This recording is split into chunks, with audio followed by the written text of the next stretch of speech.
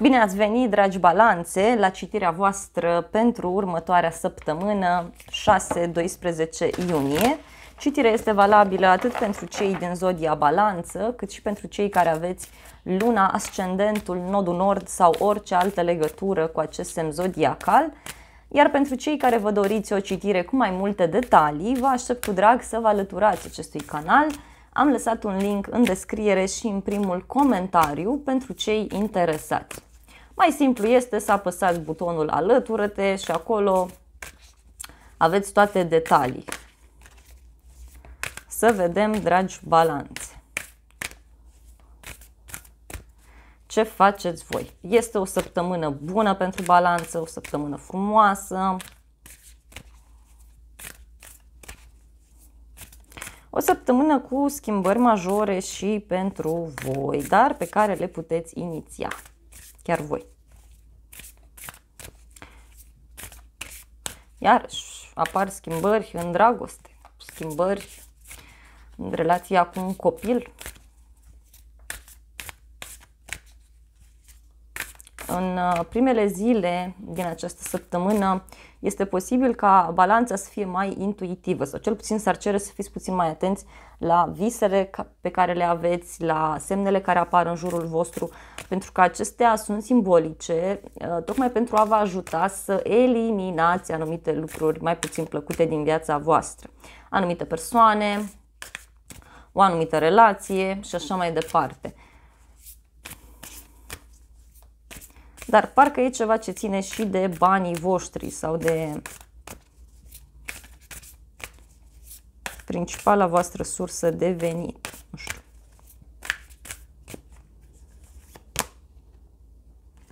Mesajul pentru balanță este să înlăturați toată nesiguranța.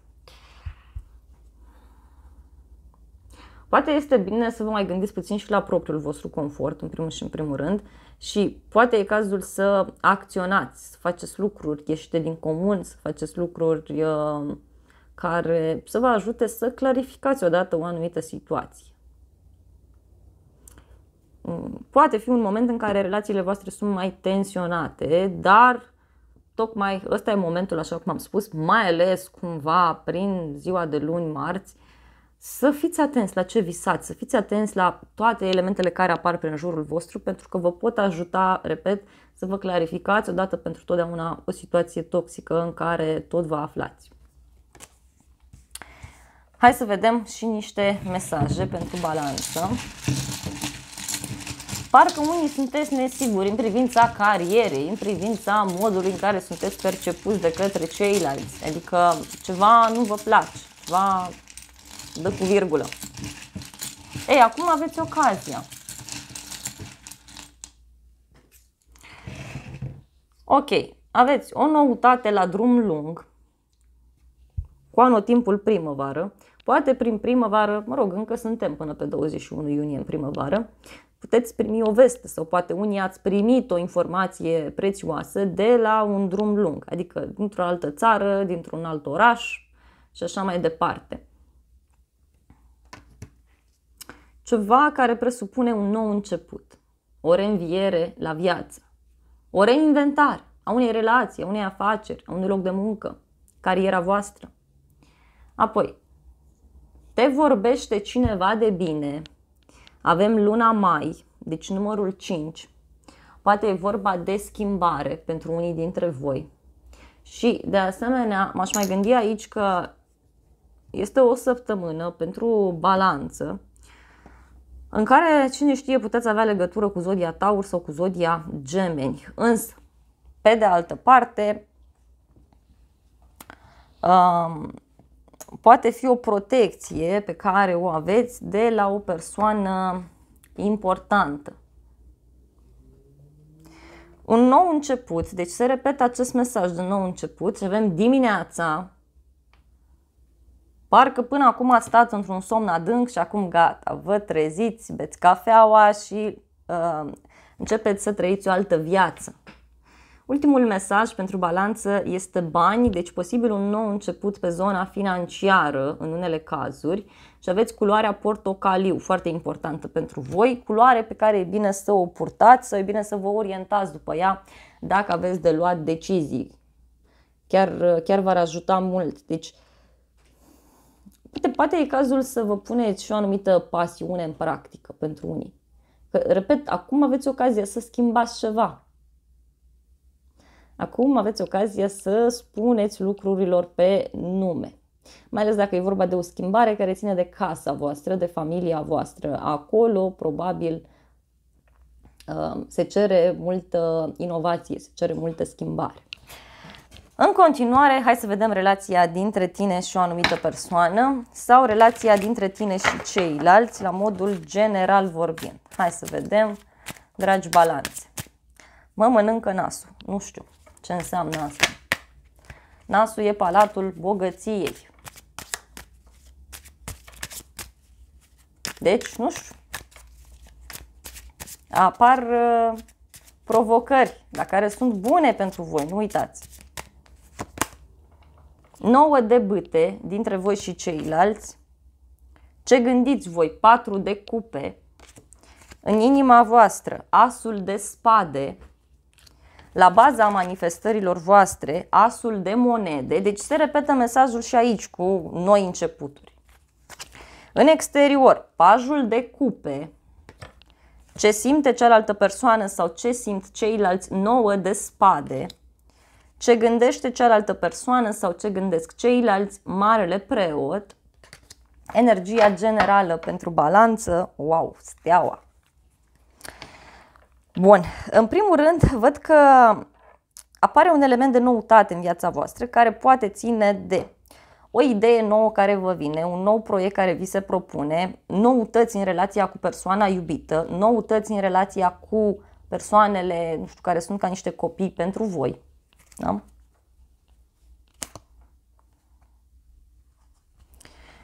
Văd că balanțele își doresc foarte mult această transformare. În unele cazuri e posibil să fi reușit ori să încheiați o relație, ori să reușiți să transformați o situație neplăcută într-una extrem de frumoasă. Voi vă doriți aici ceva foarte mult și aveți toate șansele, dar trebuie să fiți deschiși la noutăți și să fiți deschiși la sfaturile pe care le primiți de la o persoană cu o mai mare experiență de viață sau de la o persoană pe care voi o respectați foarte mult. Iarăși trebuie să cereți foarte mult ajutor de pe planul acesta spiritual, ca să spun așa. Nouă de bâte dintre voi și ceilalți. Aici e clar mesajul, ce anume că sunteți obosiți într-o relație, într-o colaborare, la locul de muncă. Vă doriți ceva foarte mult și chiar vreți să îndepărtați toate detaliile care vă țin în loc. Vreți să îndepărtați toate nesiguranțele din viața voastră. Ce gândiți voi? Da? Ce gândiți voi este 4 de cupe. Ori nu vă convine ceva, ceva ce ține cu marele preot aici, ori de o căsătorie, ori de, o, ori de ceva ce vi se propune de la locul de muncă sau din partea unei persoane care este mai îndepărtată de voi din punct de vedere fizic sau energetic alte balanțe, nu știu, auziți de o căsătorie în familie, de o logodnă, de ceva și stați așa pe gânduri, încă nu sunteți de acord sau mai stați, mai analizați situația. Adică apar noi începuturi, dar voi nu prea sunteți deschiși.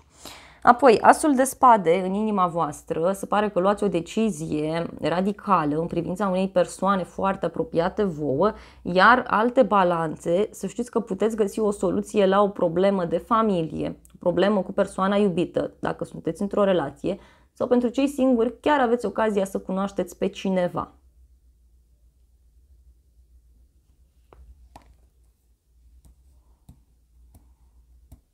Dacă e așa, persoana aia vă schimbă viața mult. Sau decizia pe care o luați oricum vă schimbă viața destul de mult. Apoi, asul de monede, la baza manifestărilor voastre. Poate mergeți într-un loc nou, uh, apare o noutate pe zona voastră profesională, vreți să vă schimbați părul, vă schimbați modul în care uh, vă îmbrăcați.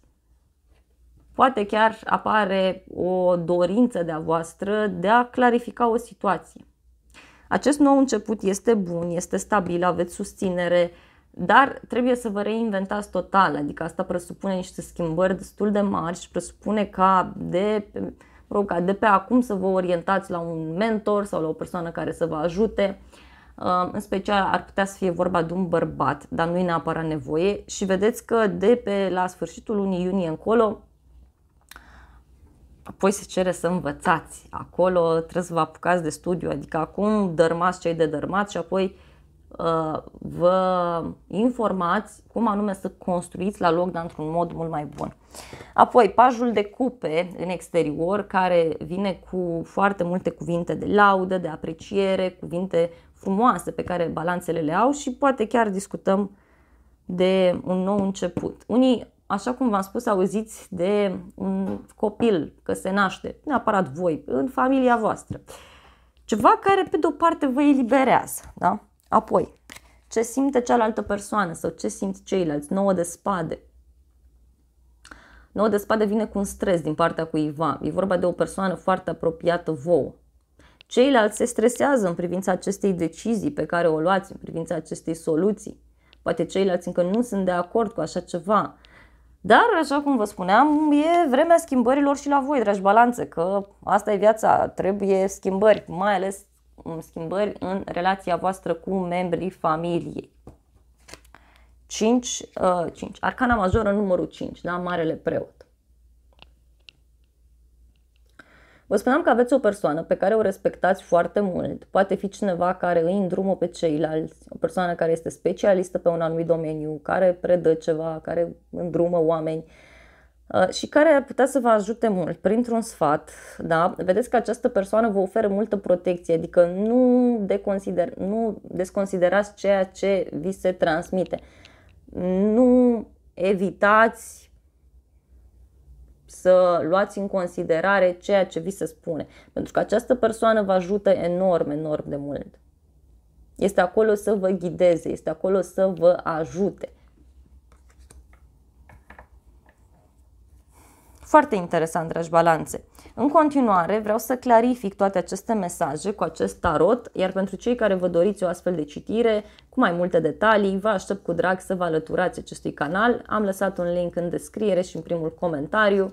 Mai simplu este să apăsați butonul alătură-te și acolo aveți acces la toate citirile pentru toate zodiile care apar în fiecare săptămână, în fiecare lună, în fiecare sezon, dar și pentru citirile din acest an 2022. Dragi balanțe, vă urez o săptămână cât mai frumoasă pe inima voastră, în care să fiți deschiși la aceste noutăți, pentru că sunt unice, sunt speciale și de ce nu profitați maxim de energia aceea care este pe cer acolo la voi. V-am pupat!